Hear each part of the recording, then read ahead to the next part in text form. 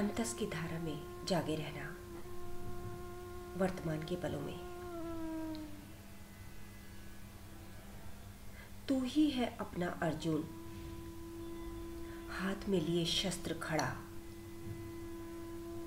हिम्मत तेरी है तेरा कृष्णा, रही रथ को तेरे दौड़ा। खुद चुनकर अपना भविष्य आज तुझे बढ़ना ही होगा। उठ। उठा अपना गांडीव आज तुझे लड़ना ही होगा। तुझ पर क्या छाएँगी मुश्किलें? कि तू मुश्किल पर ही छा जा तू। मोड़ दे रुख तूफानों का। हर चट्टान से टकरा जा तू। मिटाने को ये भीतर का अंधेरा। ये अंतस का अंधेरा। खुद तुझे जलना ही होगा। उठ, उठा अपना गांडीव आज तुझे लड़ना ही होगा। भीतर झांकना, बंद आँखों से। कहीं वर्तमान छूट तो नहीं रहा। कमर सीधी।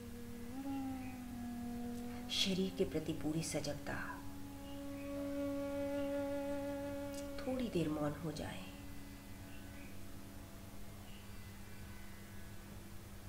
आप देख ही रहे हैं। पहले विचार इतने नहीं थे। जितना कि आँखें बंद करते ही आने लगे। और ज़्यादातर हम सभी लोग इस बात से परेशान रहते हैं कि विचार बहुत ज़्यादा आते हैं। विचारों से मुक्ति कैसे मिले?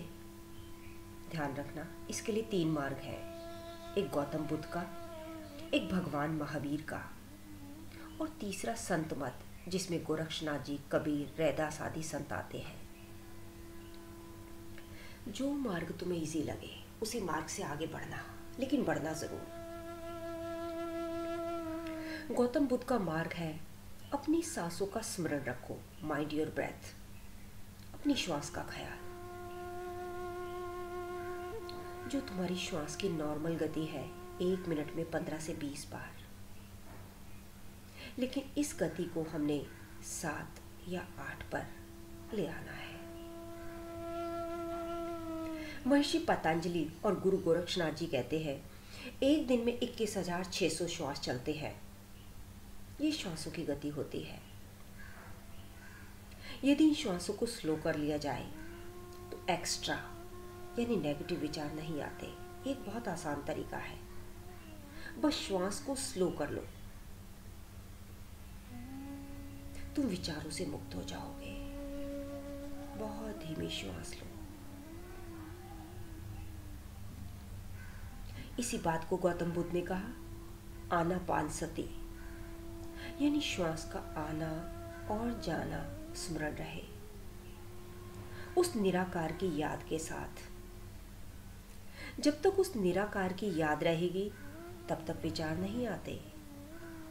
जगत के काम तो सभी करने हैं, बस उस निराकार की याद रहे। और जैसे उसकी याद आएगी, तुम फ़ौरन विचारों से मुक्त हो जाओगे। दूसरी विधि टेक्निक महावीर भगवान ने दी। उन्होंने कहा अंतर आकाश तुम्हारी आत्मा है।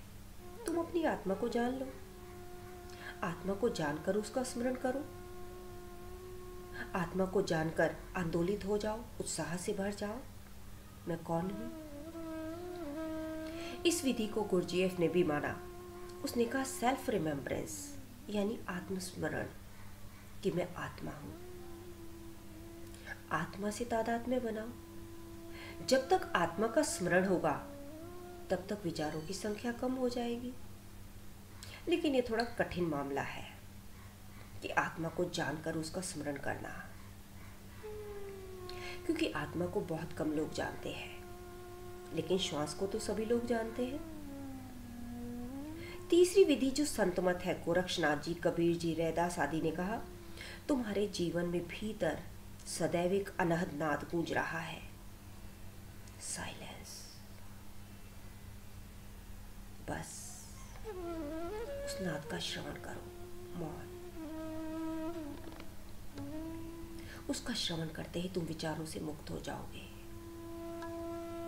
इन्हीं विचारों से मुक्त होने के लिए हम भगवत गीता का अध्ययन कर रहे हैं। नेक्स्ट श्लोक में कहा जा रहा है, हे अर्जुन, इस कर्म योग में निश्चयात्मिका बुद्धि एक ही होती है। किंतु अस्थिर विचार वाले, विवेकहीन, सकाम मनुष्यों की बुद्धियाँ निश्चय ही बहुत भेदों वाली और अनंत होती है। बहुत गहरा मतलब है। थोड़ा ध्यान से समझना। इस श्लोक में पहला शब्द आया व्यवसायिक व्यवसाय, यानी बिज़नेस आत्मिक, यानी आत्मा। जो आत्मा का व्यापार करना चाहते हैं, वो व्यवसायिक बुद्धि है, यानी उनकी बुद्धि निष्काम है। दूसरा, जो आत्मा का व्यापार नहीं करना चाहते, वो अव्यवसायिक बुद्धि है। यानी सकाम बुद्धि। यानी एक सकाम बुद्धि है, दूसरी निष्काम। सकाम बुद्धि को अव्यवसायिक बुद्धि कहा। यानी जो आत्मा के भीतर नहीं खोना चाहते, वो सकाम बुद्धि रखते हैं। दूसरे है व्यवसायिक, यानी जो आत्मा में खो जाना चाहते हैं। यानी जो अपने जीवन का खर्च आत्मा के लिए करना चाहते हैं, वो व्यवसायिक बुद्धि है, निष्काम बुद्धि है। यानी उसका निश्चय अडिग है। दूसरी तरफ़ जो अव्यवसायिक बुद्धि है, वो है सकाम। उनका निश्चय हिलता डुलता रहेगा। क्योंकि उनका मन बहुत बहुशाखा वाला होता है, जो अपने आप में क्लियर नहीं होते। मान लो तुम जगत में रहते हो और तुम धन की कामना करते हो। जैसे ही तुमने धन की कामना की, तुम्हारे मन की बहुशाखा हो गई या नहीं, कि कौन सा बिज़नेस करें, किसमें प्रॉफिट ज़्यादा है, कितना झूठ बोलना है ये सब कुछ बुद्धि में अपने आप आ जाता है। यानी धन के संग्रह के साथ साथ तुम्हारे मन की बहुत सारी शाखाएँ हो जाती हैं। और जैसे ही कोई संसारिक कामना उठे, मन बहुत सारी शाखाओं वाला हो जाता है, जिसे मल्टी साइकिक कहा जाता है। और जिसकी शाखाएँ बहुत ज़्यादा हो जाती हैं, फिर वो रूट से मिलने लगते हैं, जिसे उखाड़ पाना बहुत मुश्किल होता है। भीतर देखना, तुम्हारे भीतर है क्या ये शाखाएँ? ममत्व की जड़ें, तुम्हारे अहंकार की जड़ें, तुम्हारी ईगो की जड़ें, जिन्हें उखाड़ना बहुत मुश्किल है। दूसरी तरफ़, व्यवसायिक बुद्धि निष्काम होती है। उनके मन में बहुत ज़्यादा शाखाएँ नहीं होती। वो अपनी बुद्धि का प्रयोग सिर्फ़ और सिर्फ़ आत्मानुभूति के लिए करता है। यहाँ भगवान कृष्ण अर्जुन को यही कह रहे हैं कि, हे अर्जुन, अभी भीतर कुछ मिला नहीं है, बाहर छूट रहा है घबरा मत। तू बिल्कुल सही रास्ते पर है। इससे तेरा बहुशाखा वाला मन टूट रहा है, तू संभाव रख। तेरे कर्मों के बंधन टूट रहे हैं। भले तुझे अभी वो दिख नहीं रहे, लेकिन मुझे तो दिख रहे हैं। इसीलिए तू मुझ पे भरोसा रख और इस अज्ञात मार्ग पर चलता जा। पहली बात, समता के आरंभ का नाश नहीं होता। जो आत्मिक राज्य हम खो चुके हैं, उसकी प्राप्ति के लिए तो हम अंतस की धारा में निकले हैं। यौगिक दृष्टिकोण चल रहा है, बिल्कुल। अब तू चाहकर भी संसार में नहीं भटक सकता, बस तू मुझमें श्रद्धा रख। तुम कहते हो, अभी तक अनुभूति नहीं हो रही। इसका मतलब क्या हुआ? तुम समता भाव को खो रहे हो। समता से किया गया अनुष्ठान से परिभ्रमण का नाश होता है। भले ही तुम्हारे भीतर अभी अंधकार है, लेकिन इसी अंधकार के आगे प्रकाश है। समता भाव ही परमात्मा का स्वरूप है। बाहर का तो छूट रहा है। भीतर कुछ मिल नहीं रहा। यानी अर्जुन को भीतर कुछ मिलने की आकांक्षा है। अर्जुन को यही तो दुविधा है। आत्मानुभूति की चाह से तो तुम ध्यान धारा में आओगे, लेकिन बाद में यह भी छूट जाना चाहिए, नहीं तो ये आकांक्षा तुम्हें अर्जुन की तरफ़ भटकाएगी। तुम ये कामना बंद कर दो कि आत्म अनुभूति कब होगी कब होगी।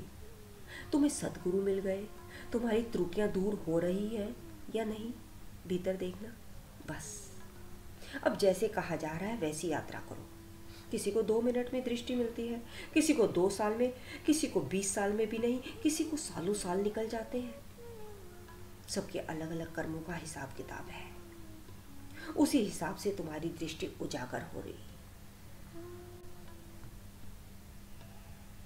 तुम्हें केवल संभाव रखना है। क्योंकि संभाव ईश्वर का गुण है, यही शाश्वत है। तेरी बुद्धि में सकाम भावना आ रही है। भीतर कुछ मिला नहीं मिला नहीं, इस भाव को तोड़। संभाव ही नित्य है, यही तुम्हें आगे की यात्रा कराएगा। नेक्स्ट श्लोक में कहा जा रहा है, हे अर्जुन, जो भोगों में तन्मय हो रहे हैं, जो कर्म फल के प्रशंसक वेद वाक्यों में ही प्रीति रखते हैं जिनकी बुद्धि में स्वर्ग ही परम प्राप्य वस्तु है और जो स्वर्ग से बढ़कर दूसरी कोई वस्तु ही नहीं है। ऐसा कहने वाले हैं, वे अविवेकी जन, इस प्रकार के जिस पुष्पित, अर्थात दिखाऊ शोभा युक्त वाणी को कहा करते हैं, जो कि जन्म रूप कर्म फल देने वाली एवं भोग तथा ऐश्वर्य प्राप्ति के लिए नाना प्रकार की बहुत सी क्रियाओं का वर्णन करने वाली है। उस वाणी द्वारा जिनका चित्त हर लिया गया है, जो भोग और ऐश्वर्य में अत्यंत आसक्त है, उन पुरुषों की परमात्मा में निश्चयात्मिका बुद्धि नहीं होती। इस श्लोक को डिटेल से समझेंगे हम नेक्स्ट वॉल्यूम में। तब तक इंतज़ार के पलों में रहना। जागे रहना वर्तमान के पले में। चाहे तो छोड़ दो, चाहे तो निभा लो। अंतस की धारा तो हमारी है पर मर्ज़ी सिर्फ़ तुम्हारी है।